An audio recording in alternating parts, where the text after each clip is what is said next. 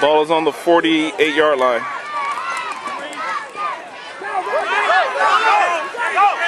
Go! Don't look back. Just go!